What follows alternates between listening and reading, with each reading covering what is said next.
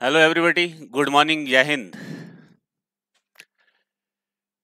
जय हिंद बेटा, सभी लोगों को। गुड मॉर्निंग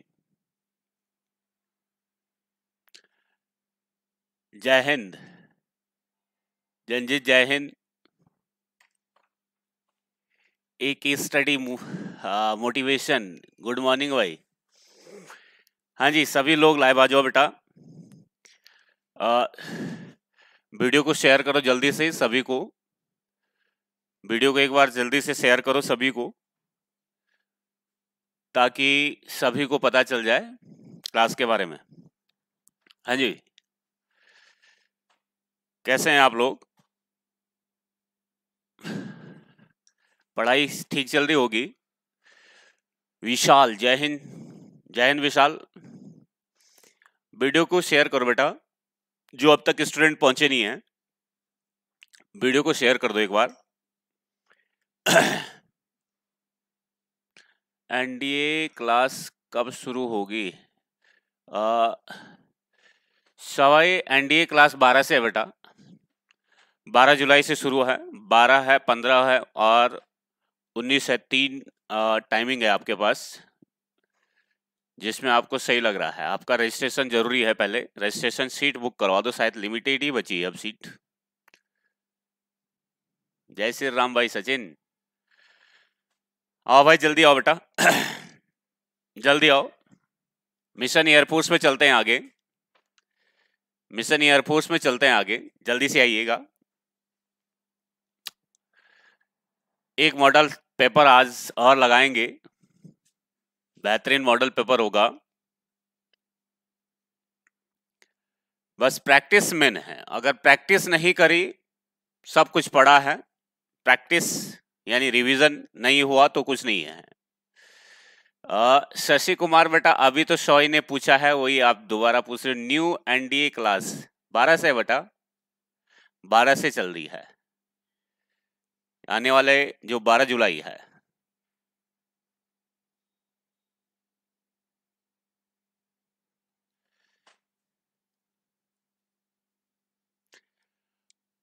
अच्छा 2022 चलें, शुरू करें। प्रणाम बेटा, प्रणाम, रवि उपाध्याय, प्रणाम। जल्दी से शेयर कर दो वीडियो भाई। अब तक पहुँचे नहीं शायद स्टूडेंट नहीं आए अब तक पूरे। अब तक स्टूडेंट पहुँचे नहीं हैं। जगाओ। फिर स्टार्ट करते हैं। आज का सेशन शुरू करेंगे। है ना? रोज की भांति रागा थर्टी क्वेश्चन होंगे, रागा तीस क्वेश्चन होंगे, जिसमें लगभग रीजनिंग वाला पोर्शन ज़्यादा रहता है। रीजनिंग का पोर्शन ठीक है ना? सोलह, सत्रह अट्ठारह क्वेश्चन आपको रीजनिंग मिल सकता है। कम से कम पंद्रह से अट्ठारह के बीच रीजनिंग रहेगा। फिर पाँच से सात क्वेश्चन आपका मैथ्स और ऐसे ही पाँच से सात क्वेश्चन आपका जीके टाइप ठीक है? चलें जी, करें शुरू। हाँ जी।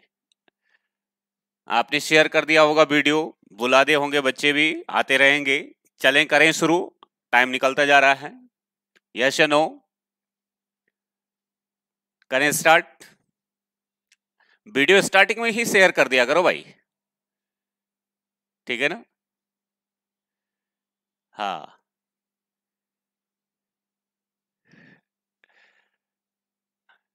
ठीक है? यस चलिए शुरू करते हैं। आज का पहला क्वेश्चन है भाई। फ़र्स्ट क्वेश्चन आपकी स्क्रीन पे ऊपर है। देखिए। रीजनिंग का क्वेश्चन है। रीजनिंग का क्वेश्चन है। लिखा है select the word which can be formed using the letter of the given word वह शब्द चुनिए, जो दिए गए शब्द के अक्षरों से बनाया जा सकता है। और शब्द दे रखा है एक्सपीरियंस एक्सपीरियंस शब्द से कौन सा शब्द बनाया जा सकता है? जल्दी से बताओ बेटा, कौन सा शब्द बनाया जा सकता है जो वर्ड आपके पास दे रखा है? एक्सपीरियंस शब्द से कौन सा शब्द बनाया जा सकता है? चार ऑप्शन आपके सामने हैं। ए कार्तिक का आंसर है ए एक्सपायर्ड एक्सपायर्ड बता रहा है। E X P I R E expired और कोई? और कोई भाई? डी भी बता रहा है, विशाल डी बता रहा है। E X P E expense बेटा यहाँ एस तो है ही नहीं, यहाँ एस आ रखा है ना, देखो, यहाँ एस आ रखा है, इस गिवन जो आपका वर्ड है, इसमें एस है नहीं। ये तो नहीं बन सकता है। यहाँ पर अगर यू की बात करें यूएस यहाँ पर भी आ गया यूएस यहाँ पर भी नहीं है तो ये भी नहीं हो सकता है। अगर यहाँ की बात करें तो यहाँ एम आ रखा है थर्ड में, एम्पायर में तो ये भी नहीं हो सकता है। तो बस एक ही ऑप्शन है आपके पास। कौन सा? पहला। Answer is A. Very good. Answer क्या है? ए। Next question. हाँ जी। आपका एनालॉजी से संबंधित प्रश्न है ये। बी ई एच के का कोड बना दिया उसने पी एस वी वाई तो ए डी जी जे का कोड क्या होगा? जल्दी से बताओ। जल्दी से बताओ दो, जो लॉजिक पहले वाले में लगा होगा, वही लॉजिक यहाँ लगना चाहिए। जो लॉजिक पहले वाले में लगा होगा, वही लॉजिक यहाँ भी लगना चाहिए। जल्दी से बताएँ।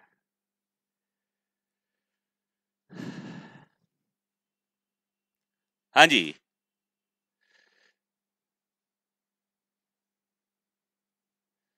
जल्दी से बताओ। एक मिनट। देखो भाई, अगर मैं बी की बात करूँ तो बी के बाद उसने क्या लिखा? ई ई के बाद एच और एच के बाद के बी और ई e के बीच का इंटरवल अगर देखा जाए तो बी से ई e तक पहुँचने में सी डी और ई e, यानी तीन बढ़ा दिया।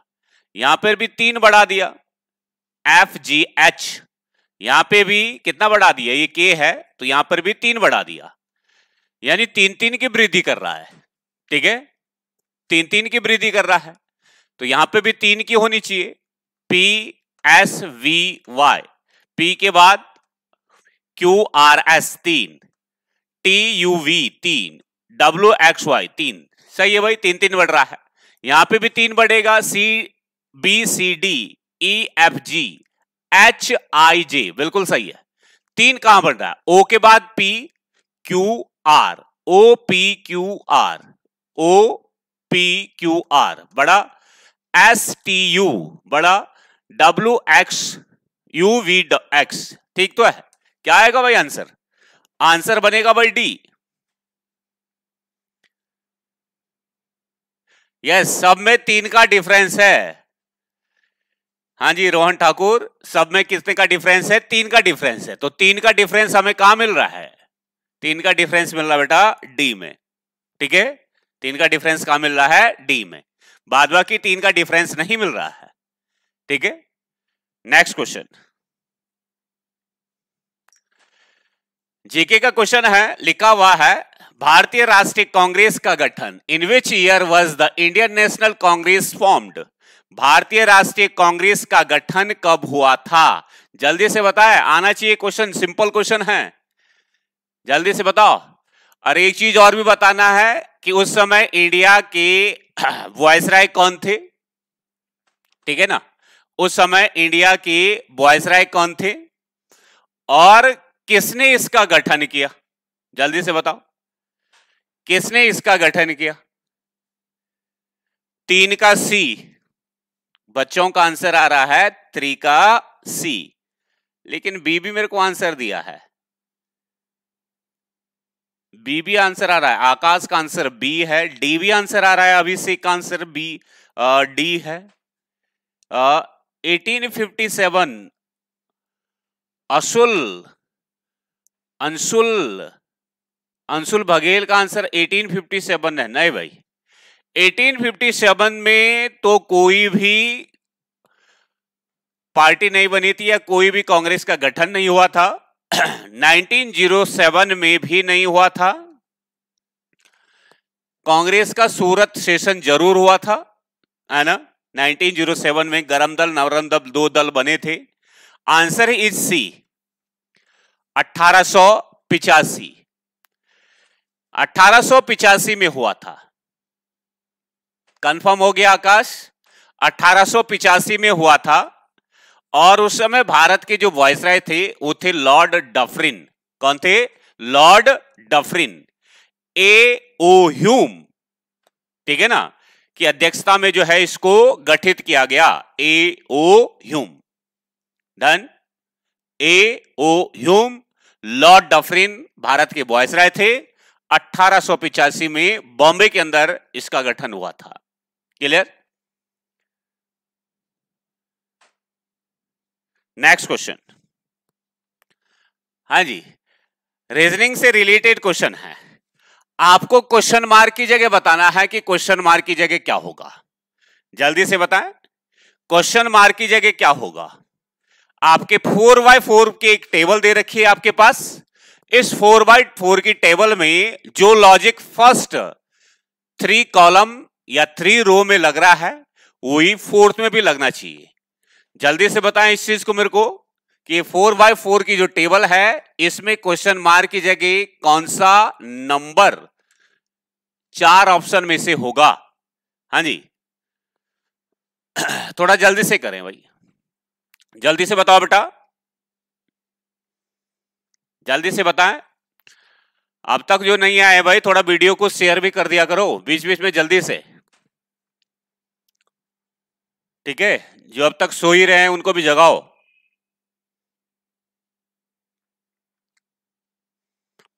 बोलो भाई।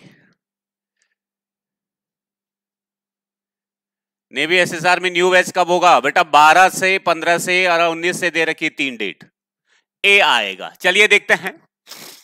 ए आ रहा है। पहले में क्या लॉजिक लग रहा है? देखते हैं। हमें किसी तरह 45 लाना है, क्योंकि सबसे बड़ा नंबर 45 है। 45 लाने के लिए स्क्वायर करना पड़ेगा क्यूब करना पड़ेगा प्लस माइनस जो भी करना है। अगर मैं चार का स्क्वायर करूँ तो चार का स्क्वायर होता है सोलह, पाँच का स्क्वायर होता है पच्चीस।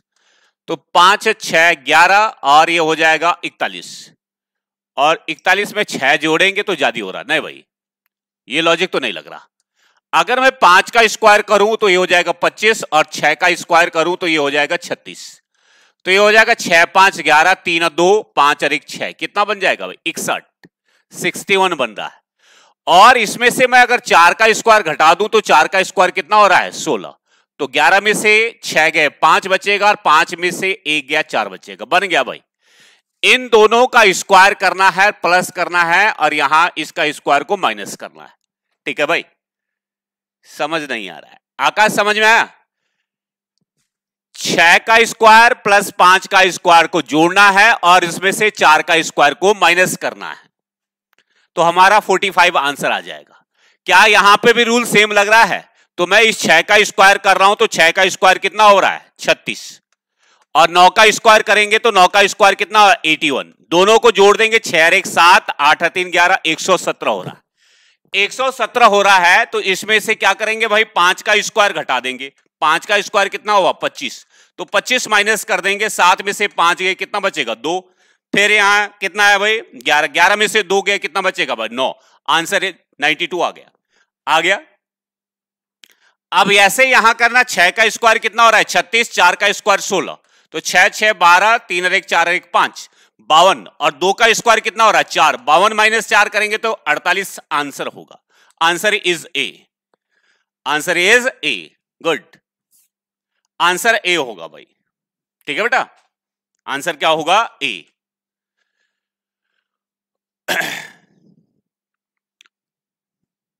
हाँ जी।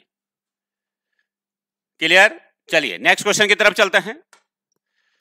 अच्छा नेक्स्ट क्वेश्चन है डायरेक्शन वाला क्वेश्चन है ये। लिखा हुआ है if Ram house is located to the south of Krishna house and Krishna's house in लिखा हुआ and Govinda's house is to the east of Krishna's house in what direction is the Ram house situated with respect to Govinda's house लिखा है, यदि राम का घर कृष्णा के घर के दक्षिण में है, तथा गोविंदा का घर कृष्णा के घर के से पूरब में है तो गोविंदा के घर से राम का घर किस दिशा में है? डायरेक्शन का क्वेश्चन है, जल्दी से निकालें, जल्दी से बताओ मेरे को आंसर जल्दी से बताओ। दिमाग घूम गया सर दिमाग को कंट्रोल रखो, आकाश। घूमना नहीं चाहिए। दिमाग को कंट्रोल रखो, दिमाग पर कंट्रोल होना चाहिए आपका।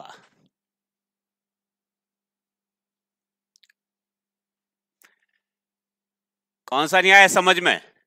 देखो डायरेक्शन का घर है। डायरेक्शन वाला क्वेश्चन है सॉरी राम का घर बोला है। यहाँ ध्यान से देखना।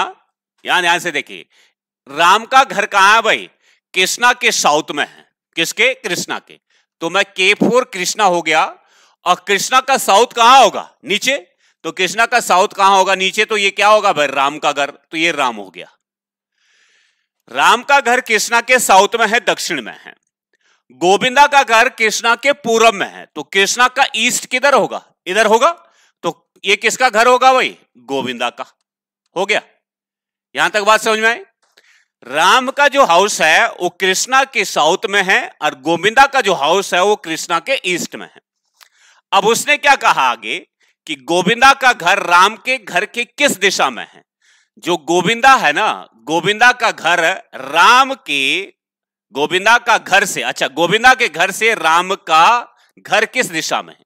यानी गोविंदा के घर की डायरेक्शन बतानी है। तो इधर हो गया ईस्ट इधर हो गया वेस्ट इधर हो गया नॉर्थ और ये हो गया साउथ गोविंदा के घर की डायरेक्शन भाई, ये वाली डायरेक्शन कौन सी होगी गोविंदा के घर की? साउथ वेस्ट होगी कि नहीं होगी? और साउथ वेस्ट का मतलब क्या हुआ भाई? साउथ वेस्ट का मतलब हो गया दक्षिण पश्चिम। आंसर इज़ डी भाई, समझ में आया कि नहीं आया? आंसर बी नहीं है। साउथ वेस्ट है बेटा। और साउथ वेस्ट बता दिया है काफ़ी बच्चों ने। आंसर बी नहीं है आंसर डी है। नॉर्थ वेस्ट नहीं होगा नॉर्थ वेस्ट कहाँ जा रहे हो आप लोग? जो नॉर्थ वेस्ट वाले हैं। नॉर्थ वेस्ट आंसर नहीं है बेटा। गोविंदा के घर से राम की डायरेक्शन बतानी है, राम के घर की। तो गोविंदा का घर की डायरेक्शन बना दो तो ये साउथ वेस्ट में किसका घर आएगा? राम का। क्लियर चलिए नेक्स्ट क्वेश्चन हाँ जी कैलेंडर वाला क्वेश्चन है। कैलेंडर से रिलेटेड क्वेश्चन है if Friday fall on fifteenth September 1992 what will be the day of the 26 December 1992 यदि 15 सितंबर उन्नीस को क्या था भाई? शुक्रवार। तो बताना है 26 दिसंबर उन्नीस को क्या दिन होगा?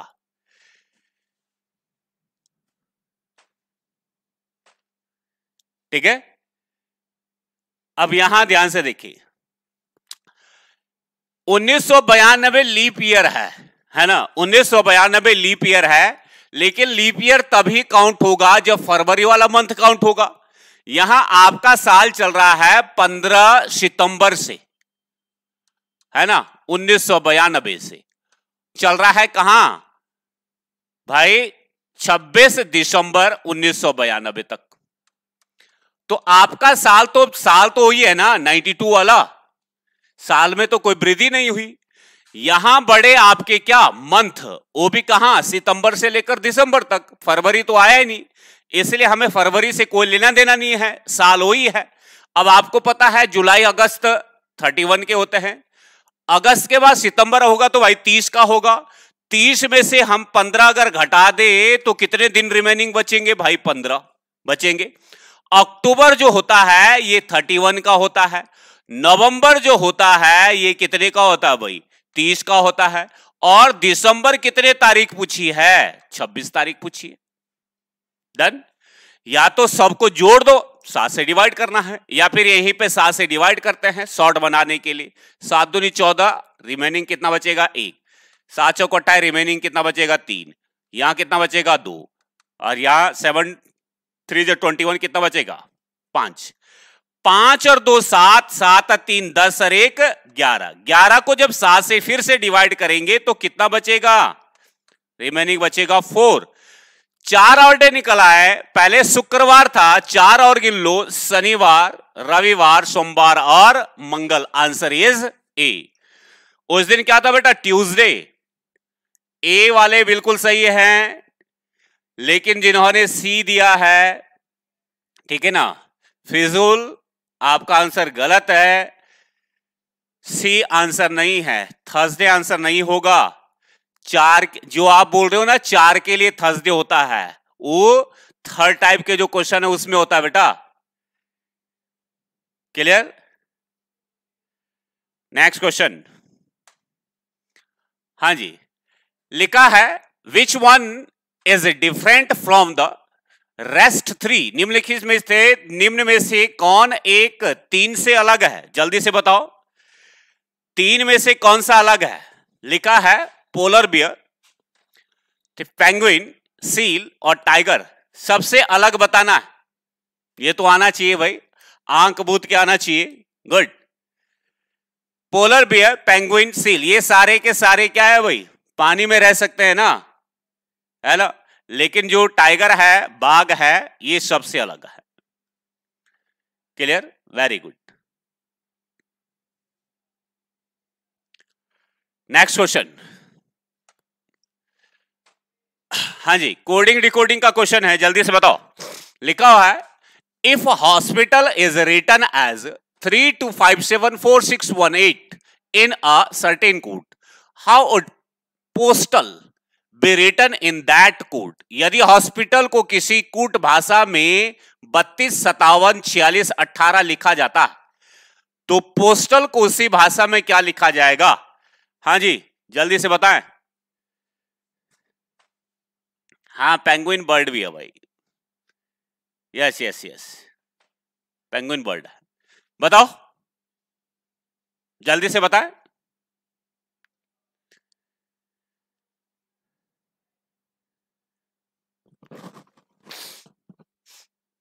रवि उपाध्याय बोल रहा है, सर, लीप ईयर कैसे पता करते हैं?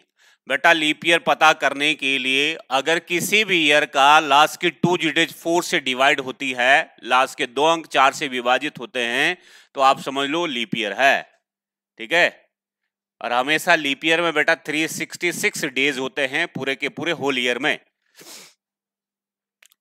देखे जरा हॉस्पिटल को three two five seven four six one eight. कभी कभी क्वेश्चन में ही आपका आंसर निकल जाएगा। अब देखिए जरा, हॉस्पिटल में जितने भी अल्फ़ाबेट है, जो आपको निकालना है, क्या वही अल्फ़ाबेट उसमें भी रिपीट हो रखे हैं? देखो पी यहाँ आ रखा है ओ भी यहाँ रखा है एस भी यहाँ रखा है टी भी यहाँ रखा है ए भी यहाँ रखा है और एल भी यहाँ रखा है। कुछ करने की ज़रूरत ही नहीं है। जो कोड इन अल्फ़ाबेट का ऊपर गिवन होगा, वही कोड बना दो। पी का कोड यहाँ पर कितना है? एक, दो, तीन, चार। चौथे पे क्या है भाई? सात। सात हो जाएगा। फिर ओ का कोड दूसरे पे क्या है? दो। दो हो जाएगा। फिर एस का कोड तीसरे पे क्या है? पाँच। तो यहाँ पे पाँच लिखेंगे। टी का कोड लास्ट से थर्ड में क्या आएगा? सिक्स तो यहाँ सिक्स लिखेंगे। ए का कोड सेकंड लास्ट में क्या है? वन और एल का कोड लास्ट में क्या है? तो आपका कोड आपका आंसर यहीं से निकल आया, बहत्तर छप्पन अट्ठारह। और बहत्तर छप्पन अट्ठारह किसमें है भाई? बी में।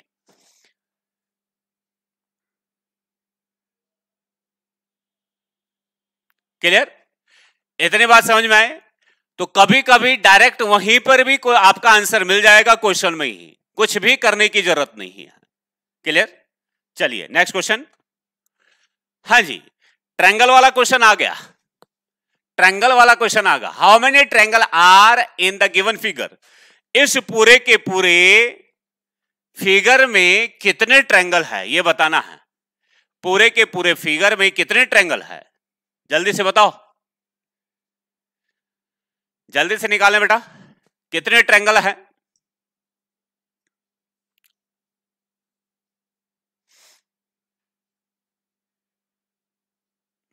स्पेशल क्लास कब होती है कैलेंडर की? होगी बेटा आकाश चिंता न कर, स्पेशल क्लास भी होगी आपकी। है ना? अभी जो चल रही है उसको तो ले लो पहले। क्यों? बताओ भाई, कितने ट्रैंगल है? कितने ट्रैंगल हैं इसमें? Fifteen thirteen fifteen thirteen Sumit Kumar good morning भाई लेट हो रहे हो। फिफ्टीन चलिए देखते हैं। यहाँ ध्यान से देखना है। इस वाले ट्रैंगल की बात करते हैं। मैंने कल एक पहले बताए थे एक दिन। मैंने कहा, कुछ अगर इस टाइप से ट्रैंगल होगा, अगर कुछ इस टाइप से ट्रैंगल होगा तो इसमें number of triangle one two यानी टोटल कितने हो जाएँगे? थ्री तो अगर मैं यहाँ पर काउंट करूँ तो देखिए जरा। वन टू हो गया भाई। वन टू हो गया। वन टू हो गया। और यहाँ पर काउंट करेंगे तो ये भी हो जाएगा वन और टू क्लियर अब यहाँ ध्यान से देखिए।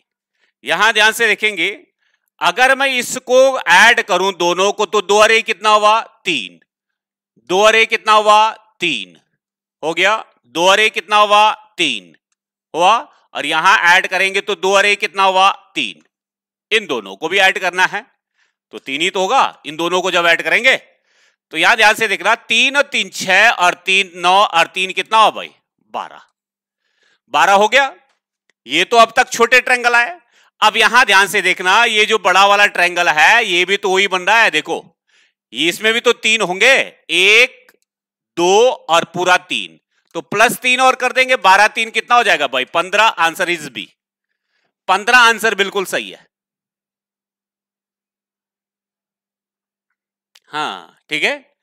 पंद्रह आंसर बिल्कुल सही है, जिनका आंसर पंद्रह है। जिनका आंसर पंद्रह है।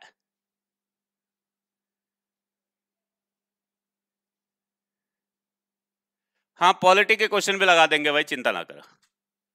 पॉलिटी के क्वेश्चन भी लगा देंगे। ठीक है? नेक्स्ट क्वेश्चन चलिए भाई, बताना जरा। London is situated on the bank of which river London किस नदी के तट पर है? जल्दी से बताएँ। लंदन किस नदी के तट पर बसा है? लंदन किस नदी के तट पर बसा है? जल्दी से बताओ। आना चाहिए भाई। लंदन किस नदी के तट पर है? वेरी गुड काफ़ी बच्चों का सही आंसर आ रहा गुड मॉर्निंग भाई, अमन। थोड़ा जल्दी आया करो भाई। आंसर इज़ सी थेम्स नदी के तट पर है। ठीक है? नेक्स्ट क्वेश्चन आर्द्रता मापने के लिए an instrument use to measure humidity humidity is humidity को मेजर करने के लिए कौन सा इंस्ट्रूमेंट यूज़ होता है? हाइग्रोमीटर है, बैरोमीटर है, थर्मोमीटर है या फिर नन ऑफ़ दीज हाँ जी। जल्दी जल्दी करवा रहे हैं। अंकित, बताओ। बी ए ग्यारह का बी आंसर ग्यारह का बी आया है। एक बच्चे ने दिया, अमरिंदर, क्या नाम है? चौधरी हर्ष बोला तो मैं रखूँगा भाई, चिंता ना करो। Answer is A, hygrometer. Answer क्या है? हाइग्रोमीटर। एटमॉस्फेरिक प्रेशर की अगर बात करेंगे तो बैरोमीटर होगा। वायुमंडलीय दाब, ठीक है? और टेम्परेचर तो आपको पता है थर्मोमीटर। तो हाइग्रोमीटर से जो है आर्द्रता, यानी ह्यूमिडिटी को मेजर किया जाता है। Who wrote the book a passage to India प्रसिद्ध पुस्तक है अ पैसेज टू इंडिया किसके द्वारा लिखी गई? R K Narayan, Shri Aurobindo E M Forster या फिर नन ऑफ़ दीज हाँ जी, जल्दी से बताओ। प्रसिद्ध पुस्तक अ पैसेज टू इंडिया किसके द्वारा लिखी गई है?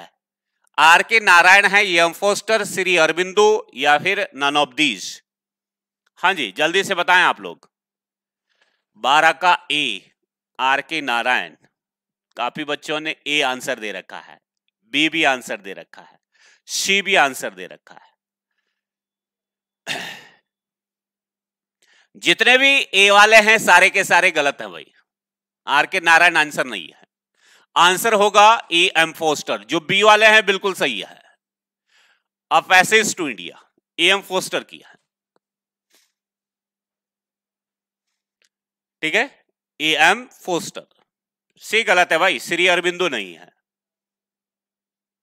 डन चलिए नेक्स्ट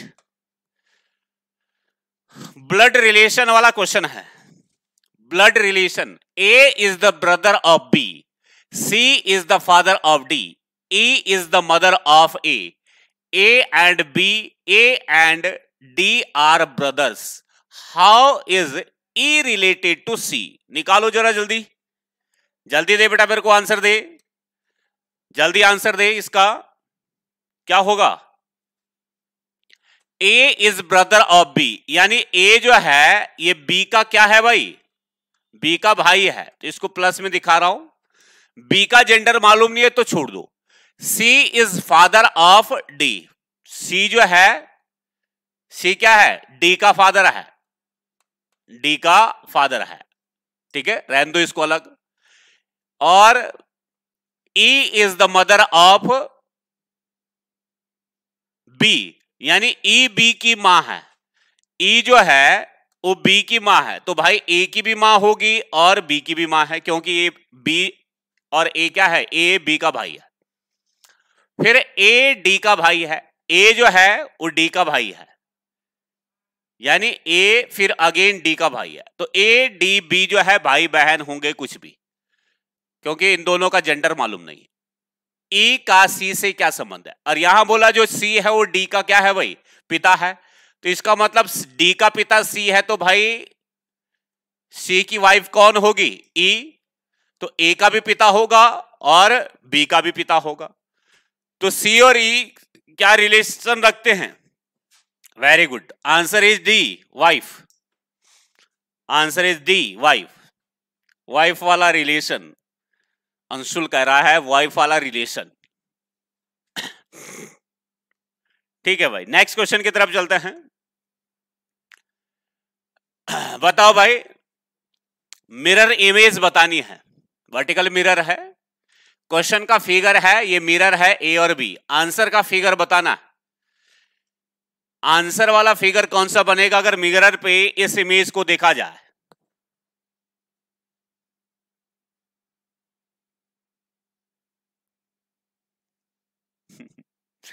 रवि मिश्रा कह रहा है, सर, मैं जब आंसर दे रहा हूँ तो मेरा नाम नहीं ले रहे हो। रवि, नाम के लिए आंसर दे रहे हो? बताओ। रवि, आप नाम के लिए बेटा आंसर दे रहे हो? बोलो। ठीक है? रवि का आंसर भी दे रहे भाई, रवि भी अपना आंसर दे रहे हैं, पर उनका नाम नहीं लिया जा रहा है। ये बहुत मिस्टेक हो रही है रवि के साथ। ए इज़ करेक्ट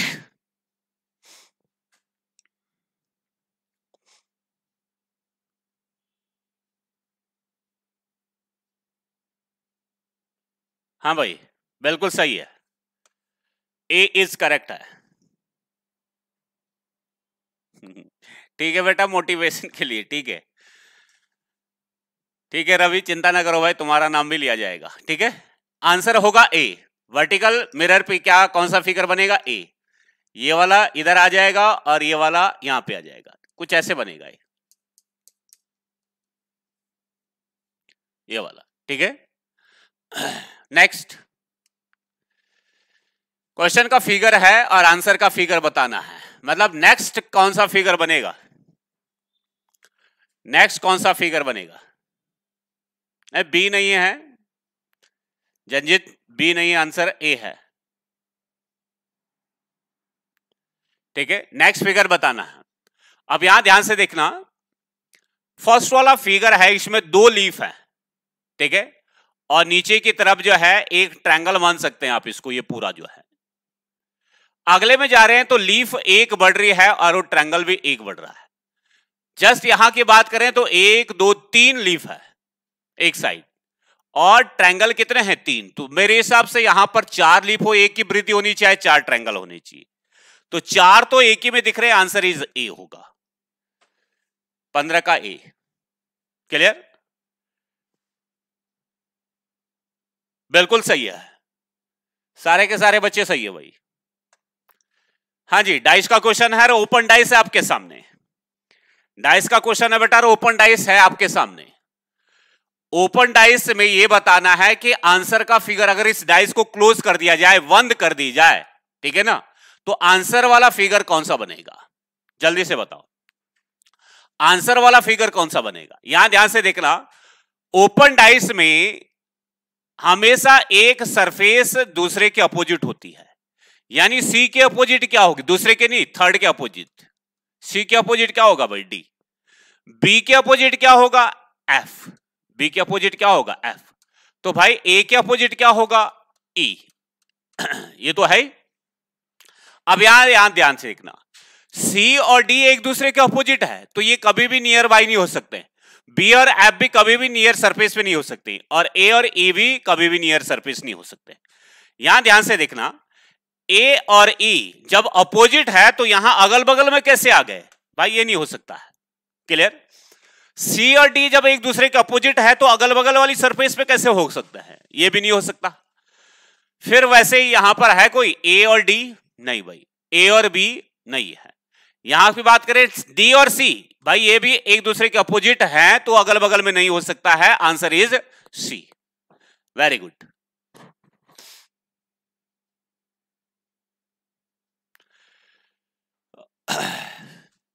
ठीक है? सुमित ग्रुप एक्स का बैच कब लगेगा? कौन सा ऑनलाइन ऑफलाइन की बात कर रहे हो? नेक्स्ट क्वेश्चन हाँ जी। नेक्स्ट क्वेश्चन दे रखा है। In the given figure how many people study only two subjects? इस फिगर में बताना है कि कितने लोग केवल दो विषय पढ़ते हैं। ठीक है? कितने लोग केवल दो विषय पढ़ते हैं? मैथमेटिक्स फिजिक्स एंड केमिस्ट्री दो सब्जेक्ट ठीक है? दो सब्जेक्ट कितने लोग पढ़ते हैं? देखिए, अगर बात करें मैथमेटिक्स और फिजिक्स की तो यहाँ से दो सब्जेक्ट कितने पढ़ रहे हैं भाई? पाँच. पाँच का पढ़ रहे हैं ना?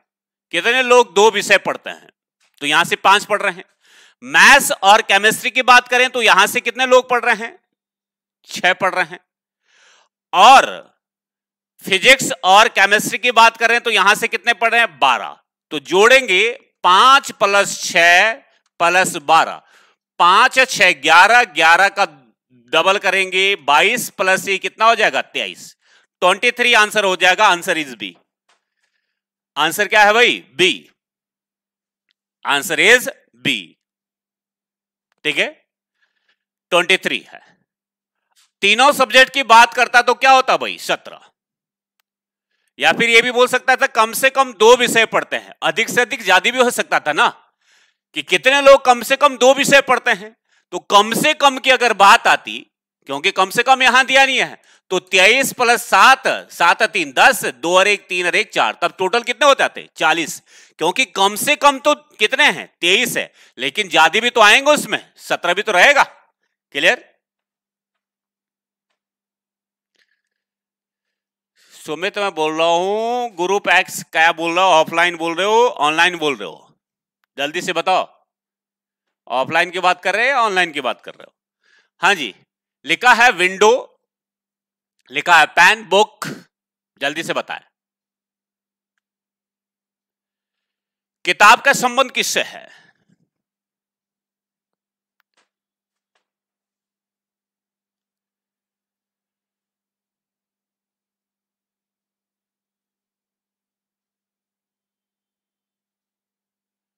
ऑफलाइन बारह से शुरू है भाई। किताब का संबंध किससे है भाई? आंसर होगा डी, पेज। कवर से नहीं है, पेज।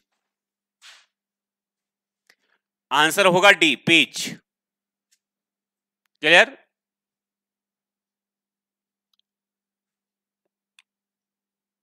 Next. Again BODMAS लगाना है आपको। इफ़ क्यू मीन्स एड अच्छा। ठीक है बॉडमास लगाना है, क्योंकि ये दे रखा है। If Q means add to J means multiply by T means sub subtract from and K means divide divide by then thirty K two Q three J six T और फाइव यदि Q का अर्थ plus है J का अर्थ into है T का अर्थ माइनस है के का अर्थ डिवाइड है एक क्वेश्चन को सॉल्व करके बताना है। कि फाइनल आंसर क्या होगा? अंशुल, क्या पूछ रहे हो बेटा आप? अंशुल ऑफलाइन अच्छा ऑफलाइन बोल तो दिया बेटा, बारह से शुरू हो रहा है। बारह है, फिर पंद्रह है अट्ठारह तीन आपके पास टाइमिंग है। ठीक है ऑफलाइन हाँ जी, देखिए सॉल्व करें। थर्टी के की वैल्यू क्या रखनी है? के का मान क्या दे रखा है? के का अर्थ डिवाइड है तो डिवाइड रखेंगे। तीस है ये। फिर टू है क्यू की वैल्यू क्या बता है? प्लस है थ्री है जे की वैल्यू क्या बोला है? जे का मान है इंटू सिक्स है। टी की वैल्यू टी का मतलब क्या बोला है? टी का मतलब है माइनस और पाँच है। तो इसको डिवाइड करेंगे तो ये पंद्रह हो जाएगा। फिर मल्टीप्लाई करेंगे तो छत्तीस, अट्ठारह हो जाएगा माइनस पाँच करेंगे। तो आठ पाँच कितना हुआ? भाई तेरह। एक और एक, दो और एक कितना हो जाएगा? तीन। तैतीस में से पाँच गए, कितना बचेगा? अट्ठाईस। Answer is B answer is B अट्ठाईस आंसर है। बिल्कुल सही। अट्ठाईस आंसर है बेटा। नेक्स्ट क्वेश्चन हाँ जी। एस सी रिलेटेड क्वेश्चन है भाई। एस आई सी आई से संबंधित प्रश्न है। लिखा है the difference between the compound interest and simple interest on a certain sum for two years at ten percent annum is rupees three hundred find the sum कहने का मतलब है किसी निश्चित धनराशि पर 10 प्रतिशत वार्षिक दर से दो वर्षों के लिए सीआईएसआई का अंतर तीन सौ रुपए धनराशि क्या है? वह धनराशि बतानी है भाई कि वो धनराशि क्या है।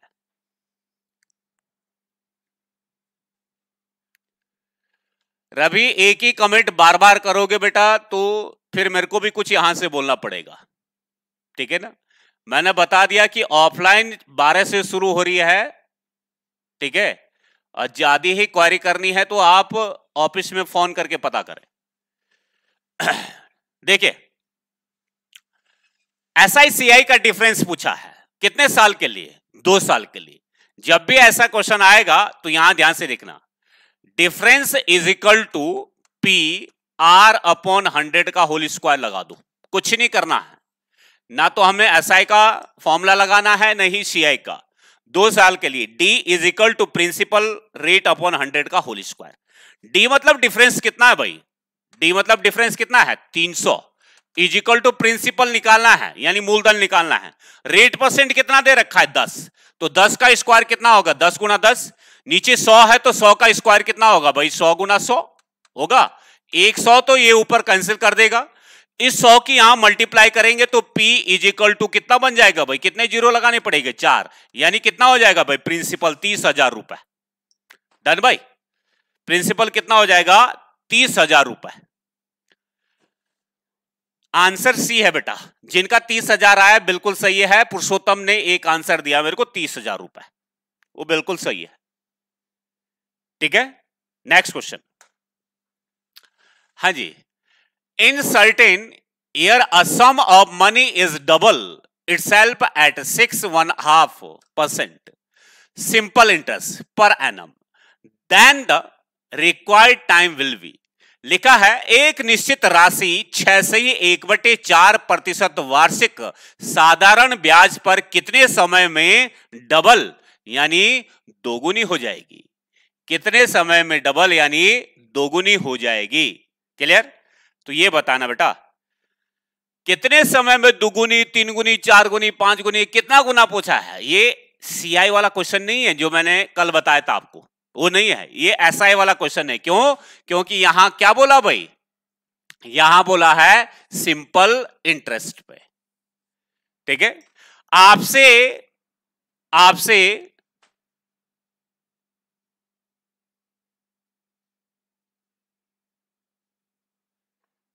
अच्छा रवि। ठीक है ठीक है, रवि, मैं सोचा कोई और है। डोंट वरी ठीक है ना भाई? अब यहाँ ध्यान से देखना। आपको कभी रेट भी पूछ सकता है और टाइम भी पूछ सकता है। अभी हमारे पास क्या दे रखा है यहाँ पर? क्या पूछा है भाई? समय पूछा है। कितने समय में? तो T is equal to N minus one upon R into hundred जब भी दो गुना, तीन गुना सिंपल इंटरेस्ट से लिए पूछा जाएगा तो ये वाला हम तरीका लगा देंगे। भाई, ये बताओ दुगुना तभी होगा ना? साधारण ब्याज होगा S I is equal to P R T upon hundred P जितना होगा एस आई भी उतना ही मिलना चाहिए ना? यानी जो आपकी राशि होगी, जो आपका प्रिंसिपल होगा, अगर इंटरेस्ट भी उतना ही मिलेगा, तभी तो डबल माना जाएगा। अगर दस रुपए आपका प्रिंसिपल है, दस रुपए आपका एसआई है, तभी तो बीस रुपए हुआ ना। तो उस फॉर्मूला को लगाने की ज़रूरत नहीं है, डायरेक्ट यहाँ। कभी आर पूछेगा तो आर को यहाँ ले आओ टी को नीचे ले आए। एन का मतलब है जितना टाइम पूछा है। कितना गुना पूछा है? दो गुना। तो दो माइनस एक। रेट परसेंट कितना है? छह चौक चौबीस और एक पच्चीस बटे चार। हो गया इन टू हंड्रेड तो ये कितना हो जाएगा भाई? ये ऊपर तो बचेगा एक। और इस दो को भी ऊपर ले जाएगा। तो दो एकम दो हो जाएगा। और नीचे हो जाएगा पच्चीस गुणा चार। तो पच्चीस से कटेगा ये कितने बार भाई? चार बार। और ये हो जाएगा चार दूनी आठ। आठ साल में दुगुना हो जाएगा भाई।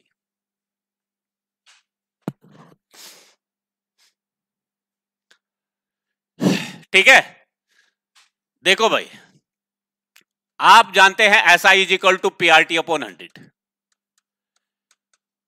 आपके पास पी भी उतना ही होना चाहिए जितना कि ऐसा आई है डबल उसको मानेंगे। मान लेते हैं, अगर एक्स आपको ये मिल रहा है तो एक्स आपका धन भी होना चाहिए।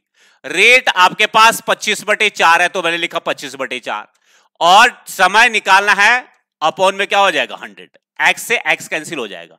25 से कटेगा कितनी बार भाई? चार बार। ठीक है ना? 25 बटे दो है। ठीक है? 25 से कटेगा चार। चार दूनी आठ। आठ को यहाँ ले जाएँगे तो टाइम नहीं, निकल जाएगा आठ साल। निकलेगा कि नहीं निकलेगा? टाइम आठ साल निकलेगा कि नहीं निकलेगा? ठीक है? दो की जगह चार आएगा। अच्छा कुछ गलत हुआ क्या? अच्छा अच्छा अच्छा सॉरी सॉरी ये है। पच्चीस बटे चार सही बोल रहे हो। चार ऊपर जाएगा चार चौकू सोलह बिल्कुल सही। चार चौकू सोलह सोलह साल है भाई। दो की जगह चार आएगा, बिल्कुल सही है, ठीक है? यहाँ पच्चीस बटे चार आएगा, चार ऊपर जाएगा, पच्चीस से सौ कटेगा चार बार, चार चौकू सोलह सोलह साल है, आठ साल नहीं है, ठीक है? सोलह साल आंसर है बेटा, बिल्कुल सही है, वो कैलकुलेशन में मिस्टेक हो गई थी, सोलह साल है। नेक्स्ट क्वेश्चन लिखा है एवरेज का क्वेश्चन है the average weight of twelve crew twelve crew man in a one by three K G van one of the crew man whose weight is fifty five kilogram is replaced by a new man what is the weight of the new man बारह नाविकों का औसत वज़न एक बटे तीन के बढ़ जाता है। जब एक नाविक जिसका वज़न 55 किलोग्राम है, अन्य व्यक्ति प्रतिस्थापित करता है। उसे अन्य व्यक्ति प्रतिस्थापित करता है तो नए व्यक्ति का वज़न बताना है।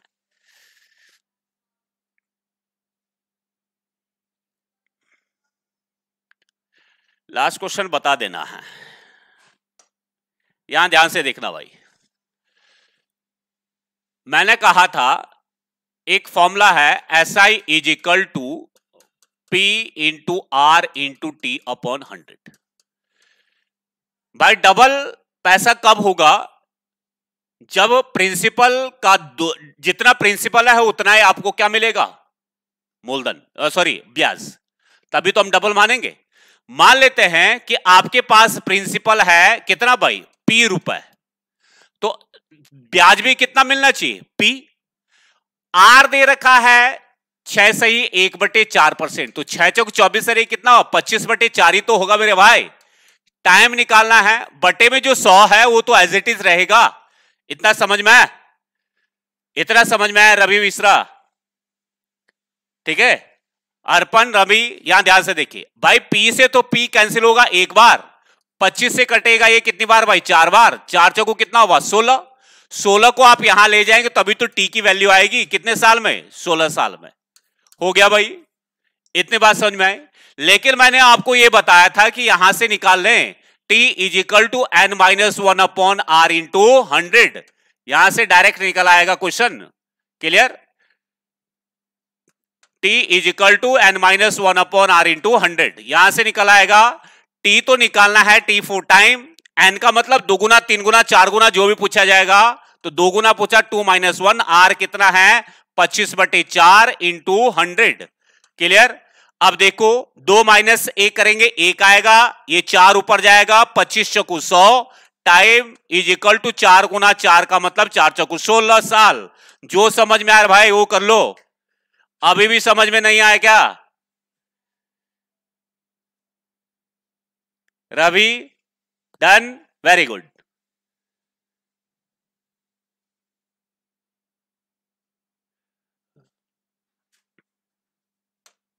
हाँ जी, बताओ इसका क्वेश्चन का आंसर बताइए इसको। जल्दी से बताएँ। अब यहाँ ध्यान से देखना, जब भी ऐसा क्वेश्चन आता है, कितने लोग हैं? बारह। कितने लोग हैं? बारह लोग हैं। जब भी ऐसा क्वेश्चन आएगा, बारह लोग है ना? बारह लोग हैं, एक बाहर जा रहा है, एक अंदर आ रहा है। नंबर ऑफ़ पर्सन नहीं बढ़ रहे हैं, ना घट रहे ठीक है? लेकिन एवरेज ज़रूर बढ़ रहा है। एवरेज ज़रूर बढ़ रहा है।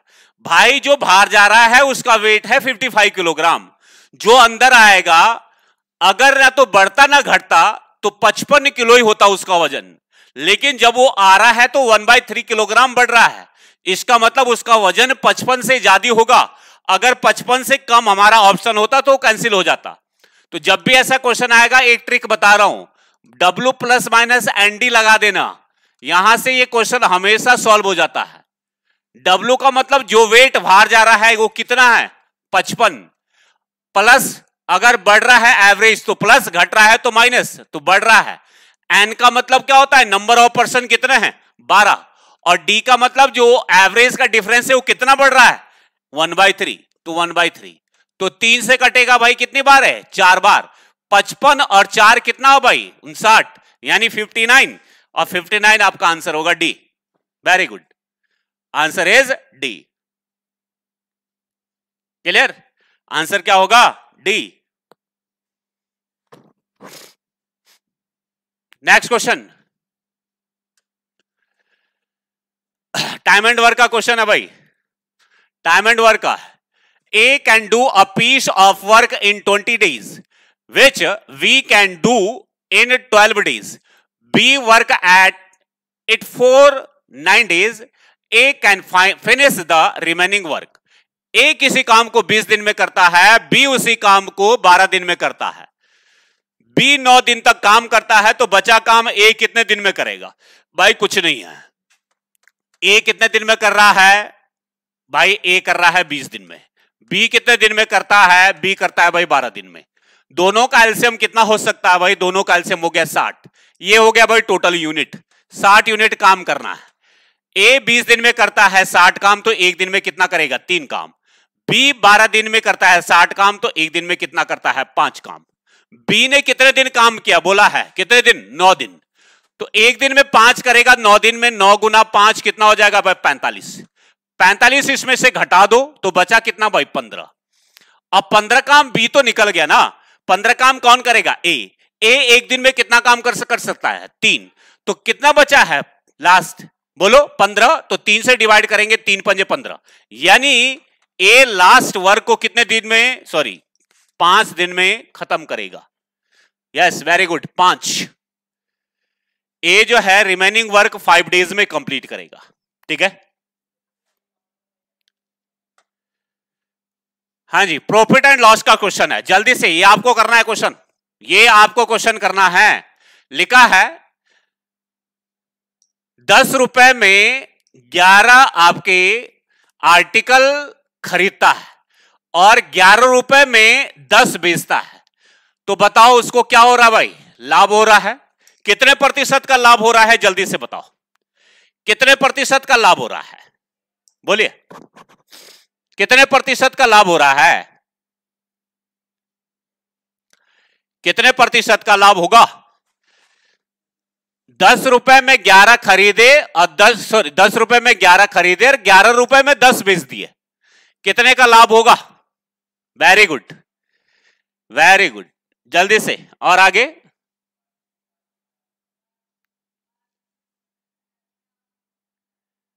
ए ए और? 21 आंसर इज़ सी 21 परसेंट का। ठीक है? इसको निकाल लेंगे आप लोग। नेक्स्ट क्लास का टाइम हो रहा है, थोड़ी स्पीड बढ़ानी पड़ेगी। आपका प्रॉफिट एंड लॉस का क्वेश्चन है। नेक्स्ट क्वेश्चन हाँ जी एलसीएम एससीएम का क्वेश्चन है। जल्दी से बताओ। चार घंटिया पाँच है, आठ नौ सेकंड के इंटरवल पे बजती है। सभी घंटिया किसी समय एक साथ बजेगी। किसी समय एक साथ बजती है। तो दोबारा से जो है, कितनी बार या कितने समय में बाद बजेगी एक साथ? जब भी ये बैल्स वाला क्वेश्चन आता है ना, ठीक है? जब भी ये क्वेश्चन आता है तो इसका सबसे पहले एलसीएम निकालना है। पाँच छ आठ और नौ का एलसीएम निकालेंगे। तो जल्दी से बताओ एलसीएम कितना है भाई? पाँच छ नौ? पाँच छ नौ का एलसीएम कितना है? पाँच छ आठ, नौ का एलसीएम है तीन सौ साठ। आएगा? एलसीएम तीन सौ साठ आ रहा है। ठीक है? अब 360 सेकंड है, इसको मिनट बनाएँगे तो 60 से डिवाइड करेंगे, ज़ीरो से ज़ीरो, छह छके छत्तीस। सही आया क्या एल्सियम? देख लेना भाई। एल्सियम सही है? आंसर इज़ छह मिनट आंसर क्या होगा भाई? छह मिनट क्योंकि सेकंड को मिनट में कन्वर्ट कर दिया। आंसर इज़ छह मिनट क्लियर नेक्स्ट क्वेश्चन लिखा है भाई, किसी वृत्ताकार क्षेत्रफल अच्छा a horse takes two and one by second to come complete around around a circular field if the speed of the horse was 66 metre per second then the radius of field is यानी एक वृत्ताकार एक वृत्ताकार किसी वृत्ताकार क्षेत्र का एक चक्कर लगाने में घोड़ा ढाई सेकंड लेता है। यदि घोड़े की चाल छियासठ मीटर प्रति सेकंड है तो त्रिज्या बतानी है आर की वैल्यू क्या होगी। यहाँ ध्यान से देखना भाई। यहाँ ध्यान से देखेंगे। एक वृत्ताकार है, एक वृत्ताकार मैदान है, इसकी रेडियस फाइंड करनी है। घोड़ा जो है, घोड़े की चाल दे रखी है छियासठ मीटर पर सेकेंड। और टाइम दे रखा है टू एंड हाफ़ सेकेंड। भाई, एक चक्कर का मतलब क्या हुआ? Two pi R. ये तो हुआ। एक चक्कर का मतलब क्या हुआ? टू पाई आर, है ना? जिसको पूरा का पूरा परिधि यानी सरकम बोलते हैं। और इतना आप जानते हैं कि डिस्टेंस इज़ इक्वल टू क्या होता है? स्पीड इनटू टाइम और डिस्टेंस हमारी एक चक्कर क्या बनेगी भाई? टू पाई आर तो डिस्टेंस की जगह यहाँ रखेंगे टू इंटू बाईस बटे सात इंटू आर इजिकल टू कितना हो जाएगा भाई? छियासठ इंटू दो दूनी चार एक पाँच बटे दो। होगा कि नहीं होगा? बस काट दो भाई। ये कटेगा, बाईस से कटेगा तीन बार। हो जाएगा? बाईस से तीन बार कटेगा। और फिर हो जाएगा कितना? तीन पंजे पंद्रह बटे दो। और ये हो जाएगा, सात चले जाएगा ऊपर और दो आ जाएगा नीचे। तो पंद्रह सत्य एक सौ पाँच बटे दो दूनी कितना हो जाएगा? चार। चार से काटेंगे, चार दूनी आठ। फिर पच्चीस हुआ, चार छंग चौबीस। फिर चार दूनी आठ, चार पंजे बीस। कितना आ जाएगा भाई? छब्बीस दशमलव बावन। छब्बीस दशमलव बावन। क्लियर? बेटा सरकमफ्रेंस जो परिधि होती है ना, उसी को सरकमफ्रेंस बोला जाता है। एक राउंड कंप्लीट करेगा तो एक राउंड की वैल्यू कितनी हो जाएगी? Two pi R time distance is equal to speed into time होते हैं। टू पाई की वैल्यू बाईस बटे सात दे रखी आपके पास twenty two upon seven radius आपको फाइंड करना आर की जगह। आर स्पीड कितना दे रखा है? Sixty six metre per second तो रख दिया। टाइम कितना है भाई? ढाई सेकंड ढाई सेकंड का मतलब फाइव बाई टू बस कैलकुलेट कर दिया। कैलकुलेट कर दिया फिर। ठीक है? तो आंसर क्या होगा इसका? आंसर होगा भाई, आंसर कितना होगा भाई? B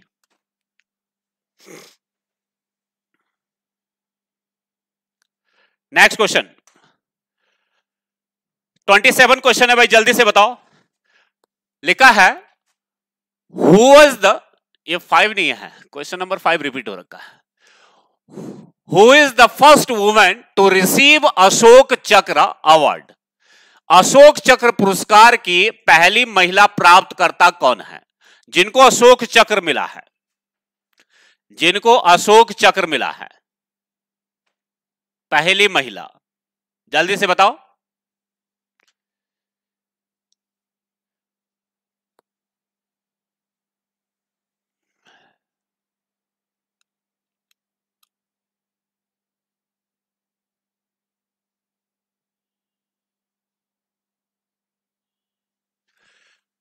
आंसर होगा भाई A Neeraj Bhanot. Answer A 23 की एज में इनको अशोक चक्र मिला था। पीस शांति के लिए।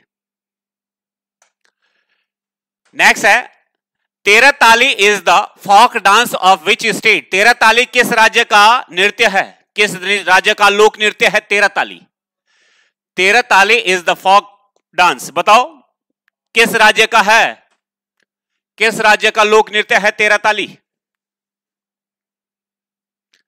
अच्छा 26 का गलत आंसर है। कार्तिक बोल रहा है 26 का गलत आंसर है। आ, अच्छा ये वाला डी वाला ठीक है। टिक ऊपर लग गया कार्तिक। गलती हो जाती भाई। टिक ऊपर लग गया। डी वाला है। 26.25 ठीक है कार्तिक? कार्तिक सही है? हाँ जी। बताओ तेरह ताली।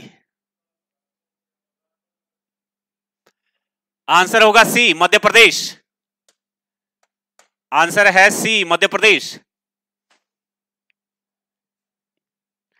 Next question Nagarjuna Sagar dam is developed on Nagarjuna Sagar बाँध किस पर बनाया गया है? नागार्जुन सागर बाँध किस पर बनाया गया है? जल्दी से बताओ। Nagarjuna Sagar dam, Godavari, Krishna, Ganga, none of these answer होगा कृष्णा रिवर, आंध्रा में। कृष्णा रिवर, ठीक है? कृष्णा रिवर पर बनाया गया है। लास्ट क्वेश्चन बताओ, world TB day is observe विश्व टीबी दिवस कब मनाया जाता है? तपेदिक दिवस, विश्व तपेदिक दिवस, वर्ल्ड टीबी डे। हाँ जी। हाँ टाइम ओवर हो गया। पकड़ा जल्दी से बताओ। टीबी दिवस। यस आंसर होगा डी 24 मार्च। ठीक है?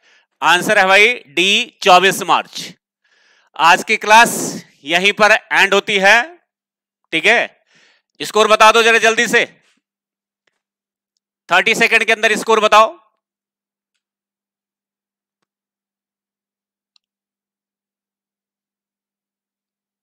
आठ मार्च नहीं है भाई, चौबीस मार्च है। Twenty five Chaudhary good